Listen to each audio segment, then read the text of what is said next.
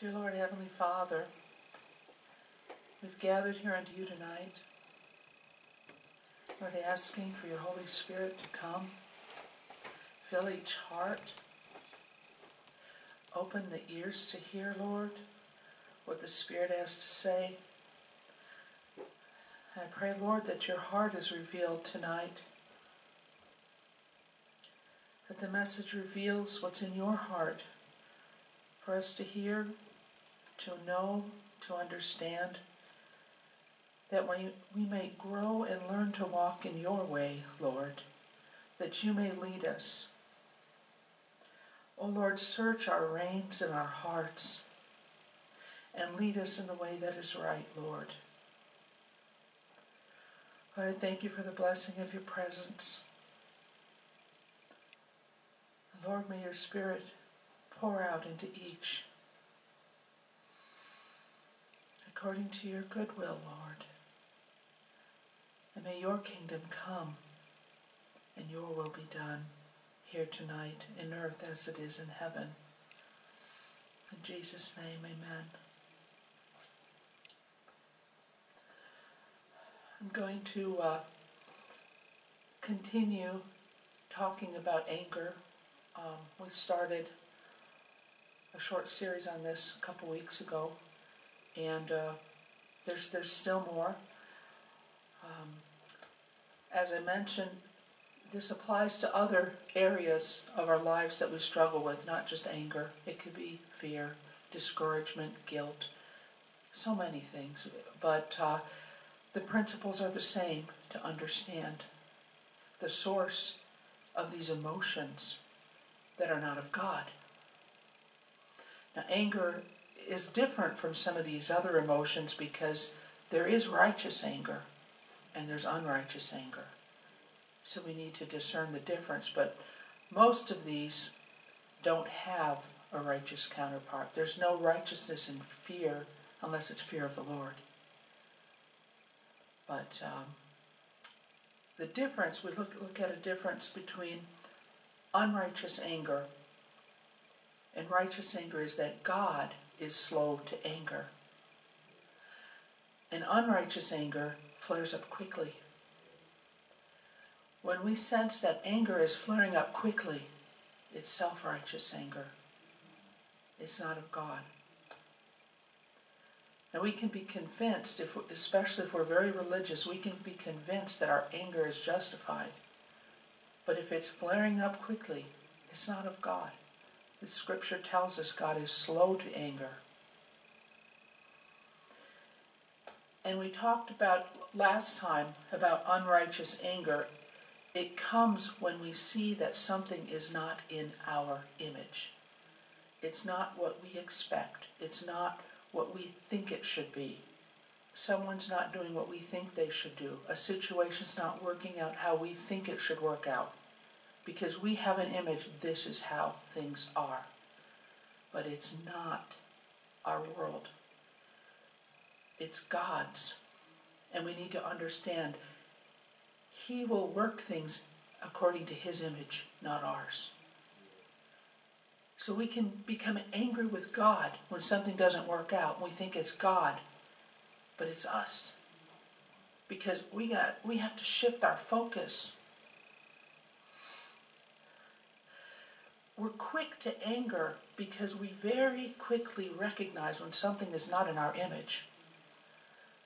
We're less quick to recognize whether something's in God's image because we don't we see through a glass darkly. We don't see so clearly as we as we should.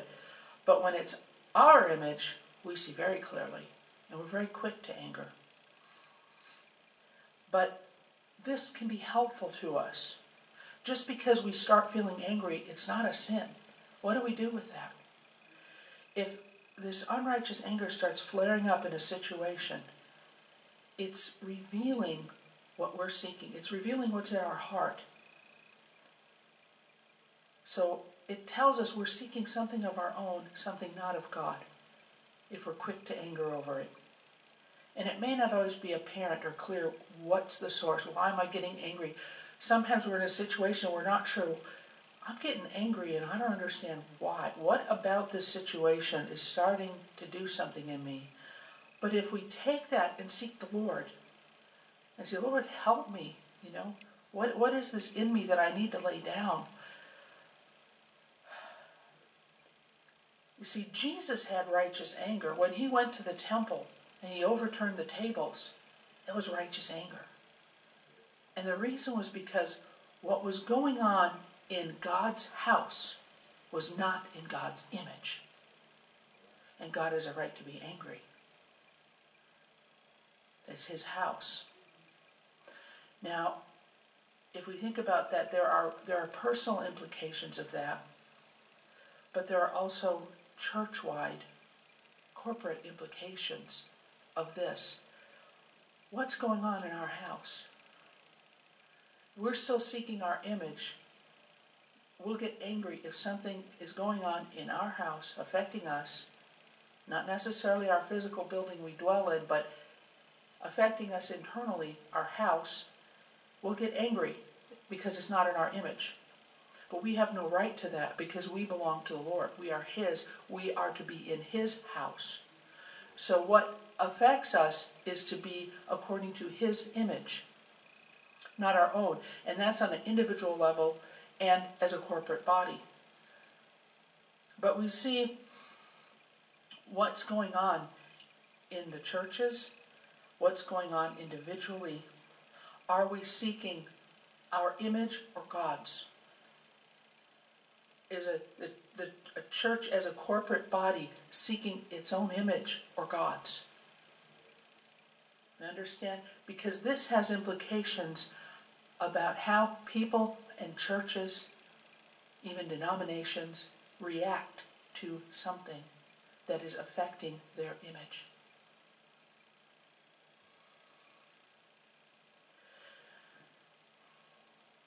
Sometimes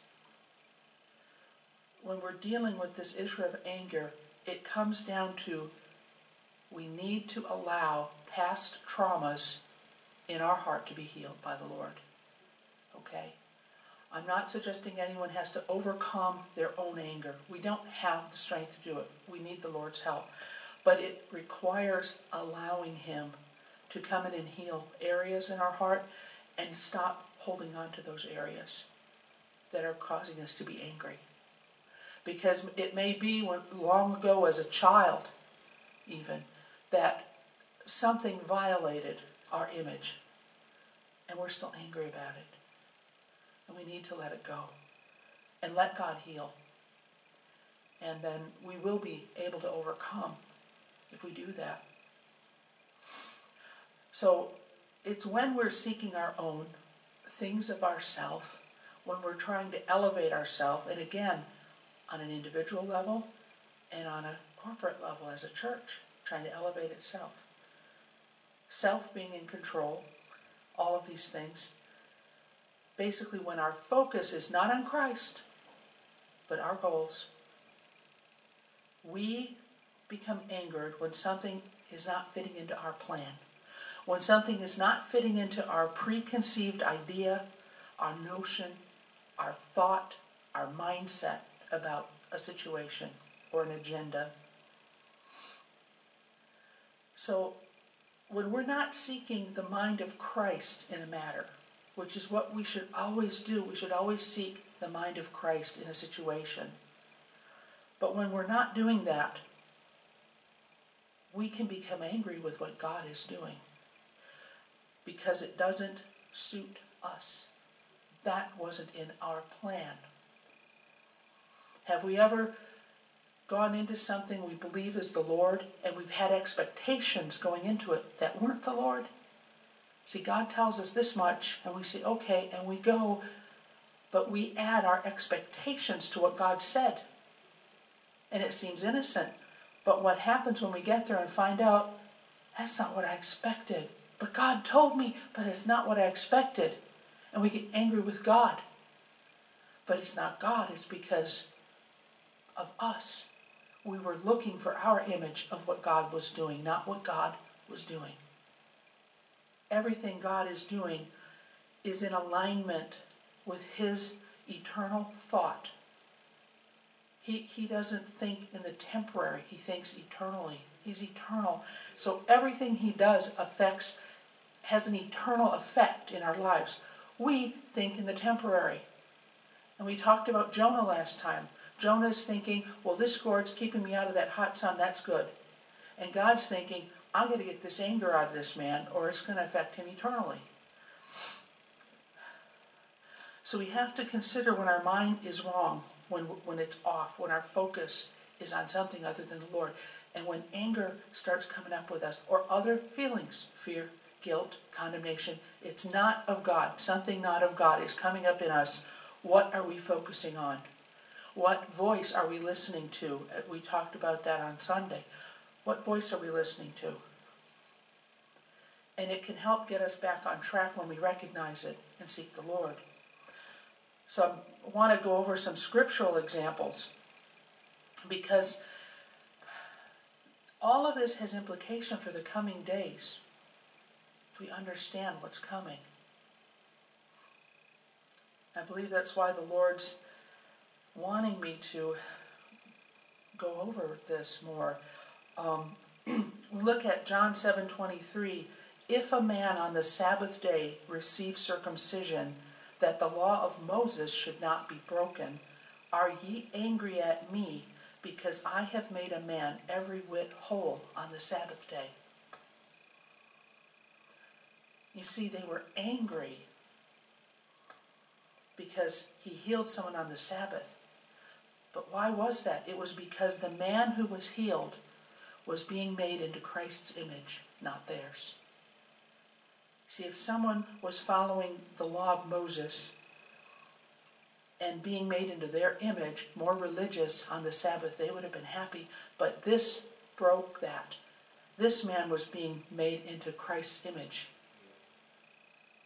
And they were angry with him. Anyone focused on themselves. The same thing will happen when Christ increases and something is threatening them. They're going to have to decrease. They'll become angry. And what do they say? We will lose our place. We will lose our place. Because their image is not humble. It's not, we're down here and it's all about Christ. It's not, I must decrease and Christ must increase. So they become angry. They don't comprehend that. And we talk about the future here, Revelation 11:18. And the nations were angry.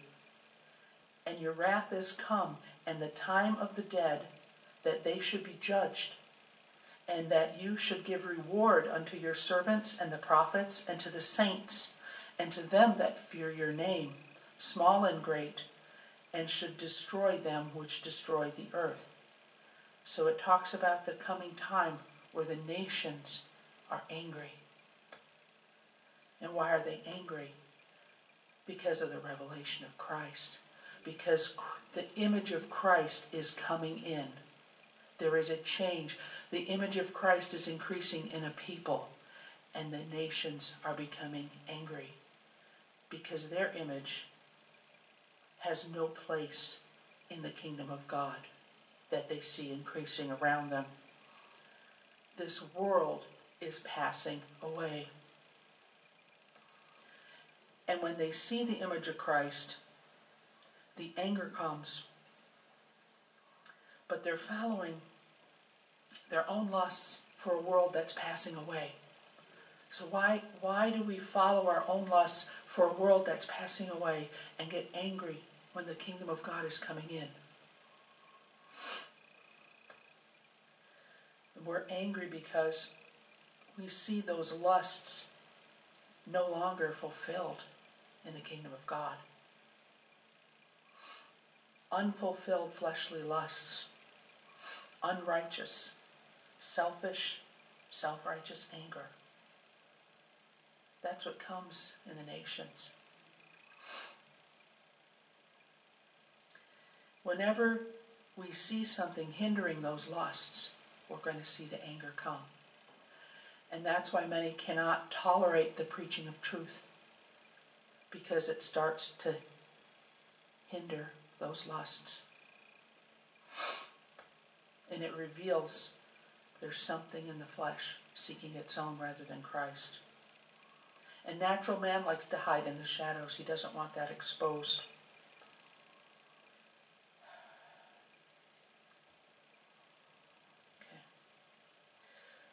There are those that hate the kingdom of God because it's not theirs. It's not theirs. Philippians 2:21 For all seek their own, not the things which are Jesus Christ's. Seeking their own rather than the kingdom of God. Can we understand the danger that is in the church that is seeking its own rather than the kingdom of God? Can we see the setup for what's going to happen later? We may think that we're justified. We may think we have righteous anger when it's only self-righteous anger. It have, we can be deceived. It's very easy to say, well, that's not going to be me. We can be deceived. Paul, when he was Saul, thought he was doing the right thing until the Lord showed him otherwise. We need to seek the Lord's will and not presume that we know it. Just judgment, if we want to judge righteously, it requires that we seek the Father's will in all areas, not just what we think is right. Titus 1 verse 7 For a bishop must be blameless as the steward of God, not self-willed, not soon angry, not given to wine, no striker, not given to filthy lucre. A qualification for a bishop, not soon angry. Why? Because the degree to which we are quickly angry indicates how little Christ is in us. Because God is slow to anger. Therefore, a bishop must be slow to anger. Why? Because he must be filled with Christ. It's not talking about someone who can restrain their anger and hide it. It's talking about a man or a woman who is filled with Christ and has overcome to where they don't become quickly angry at a situation. And they have time to seek the Father's will. How do I handle this situation? What, what, what is your will, Lord, in this situation? They don't react so quickly to it. A bishop's interest must be Christ and Christ's image, not his own. That, that's what it's speaking about. Those called into ministry, because God calls us before we're there. Those called into ministry must get over this issue and realize it is not for our interest, for our image, to do any type of ministry. We are not called for any reason for our image and our interest. It is for Christ and Christ's image.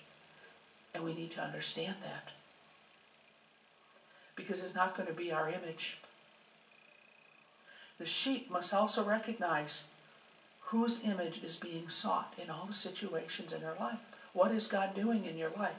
It's not for you and your image. It's for His image in you.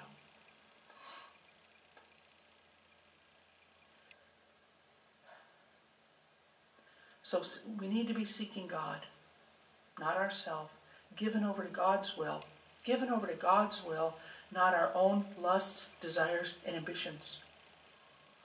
That's where a lot of these negative emotions stem from. They come from this. There's something in us. We're born with it. And if we're soon angry, quickly angry, that is a way of telling that there's still a lot of self-will in something. We're not fully given over to God's will in that area. And I'm, I'm focusing on this a lot, I know, but it is important, very important to understand for the coming days how important it is for us to be given over to God's will. Truly given over to God's will. We can kid ourselves and think, I'm given over to God's will, and we're not. He can show us very quickly how little of us is under His will versus our will. And if we don't start turning more and more over to Him, it's going to be a lot more difficult with what's coming. We need to do that. It's it's like a warning. When we start to see this rising up within us, we need to turn it over to the Lord and get this purged out of us now. Because there's going to come a time when it's going to make a, a big difference. Proverbs 14, 17 says, He that is soon angry deals foolishly, and a man of wicked devices is hated.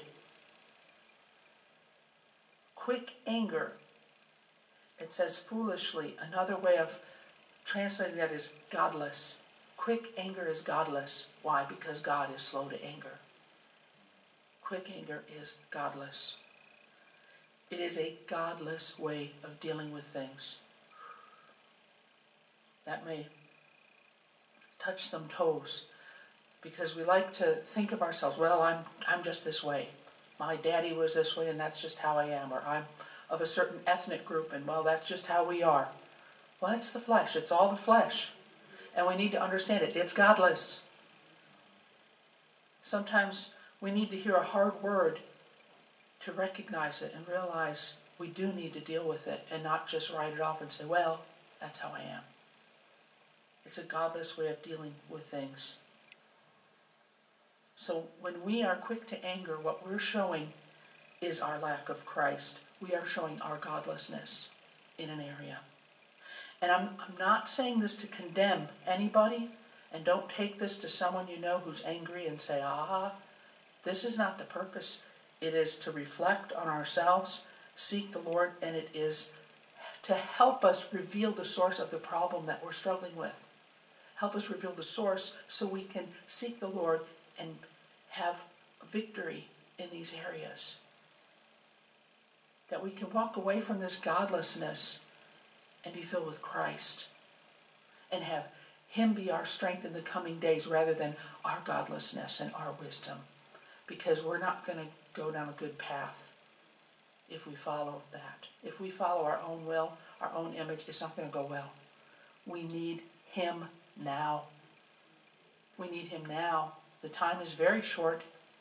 It is very short. Ecclesiastes 7 9 Be not hasty in thy spirit to be angry, for anger rests in the bosom of fools. Anger rests in the bosom of godless people. Because remember, the beginning of wisdom is fear of the Lord. Fear of the Lord is the beginning of wisdom. When we are godless, we have no fear of the Lord, and we have no wisdom. We may think we do, but we have no wisdom. Thus the word fools. And the fool says in his heart, There is no God. The godless says in his heart, There is no God. Foolishness is a godless state of being, a godless way of doing things. It's not wise. Why? Because all wisdom rests in Christ. When we do it without Him, it's not going to go well. We see a lot of young people out there seeking their own without the Lord's input. Well, I need to go find my life, what I want, my dream. And they're off doing it on their own without the Lord's input. It's foolishness. It, it is. We have, we have young people tell us this. We had a young man recently tell us this. Well, I just need to go out. Every, every young man needs to go do his thing and find his place. And without the Lord's input, if we are wise, we will hear that and we will seek the Lord, and our life is going to go much better. How many older people, if you're young, look at the older people that you've known. How many of them look back in their lives and say, I was foolish. I was stupid. Do you want to take the same path? There's a lot of young people here tonight. Do you want to take the same path?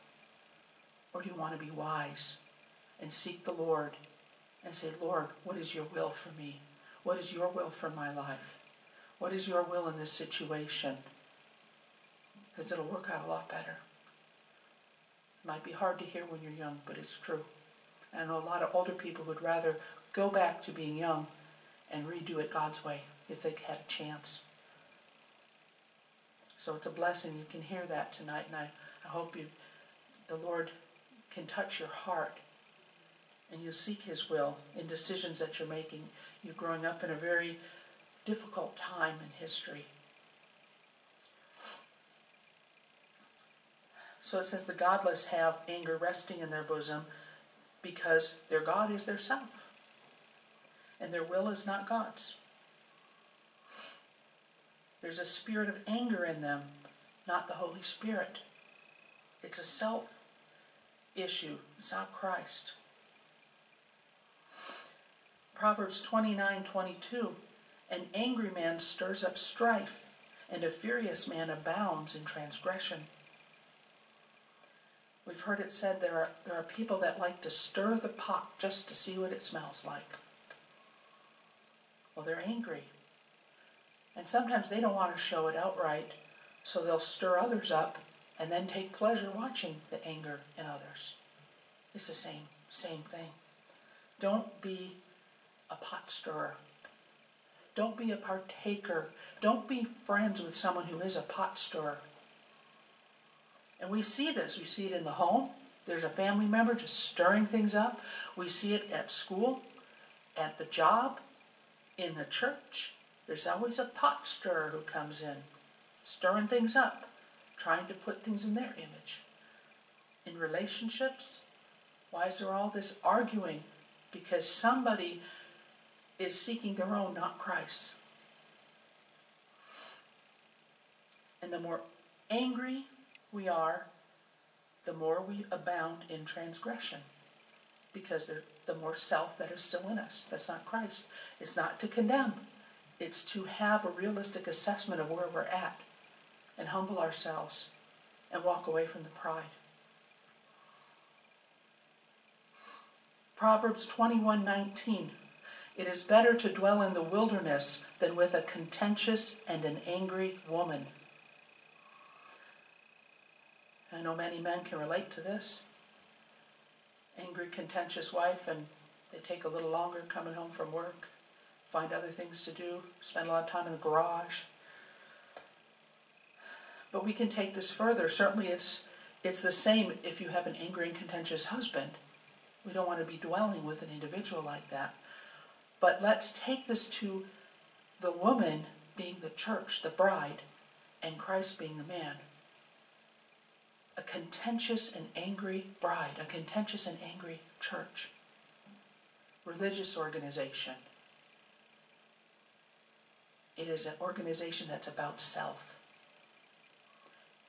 And God says it is better to dwell in the wilderness than with such. And many of us have been part of an organization like this. And he says, come out of it. Come out of it. It's better to be alone in the wilderness seeking God than part of such an organization than to dwell with an angry and contentious woman.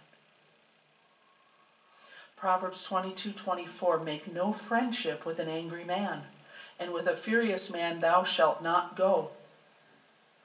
You see, if we walk as friends, we must be in agreement. And an angry man is about himself, not about the Lord. What business do we have being friends with an angry man? if we're seeking the Lord. And that angry man that we're friends with doesn't have to be our father or our brother or our spouse or our buddy at work. It can be our own old man that dwells in us, our self.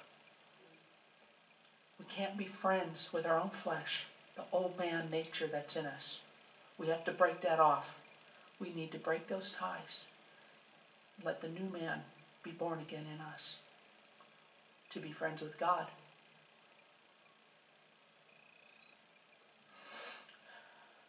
You know, the parable of the prodigal son, he came home. What was the older brother? He was angry. Why? Because it wasn't in his image. His image was, hey, I've been here. I've been working. I've been faithful. He squandered your inheritance. He ran off. He comes back, and you kill the fatted lamb for him. And you have a party for him. Because that son was focused on himself. He wasn't focused on the father's image.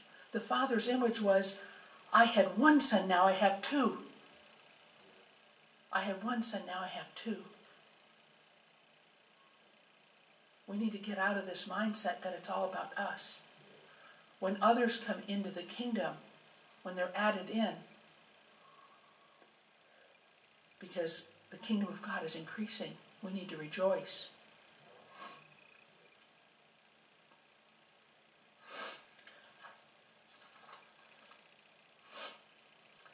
I'm about finished here. There's a lot more. There's a lot more to this. Um, and I didn't get back to Jonah. There's there's more from that story, but maybe maybe another time if the Lord leads. We'll see. Um, but this is a very pressing issue right now because of what's coming, and we're going to see those who rise up in anger against those who are seeking the image of God. And this is why. Do we want to be one of them? Where do we want to fall? And we need a realistic assessment of where we're at, and we need to seek the Lord to help us get us more and more into that image of Christ and away from that angry man. Because he dwells in all of us. I'll end with one verse here. Ephesians 4:26 Be ye angry and sin not. Let not the sun go down upon your wrath. If anger rises up, just don't sin. Seek the Lord. Seek the Lord to help you find where's it coming from, to deliver you from it, to shine the light on it, so that wherever inside self is still in charge, that land can be given over to the Lord and we can walk in righteousness. Do not hide in the shadows of this world. Do not hide from the sun.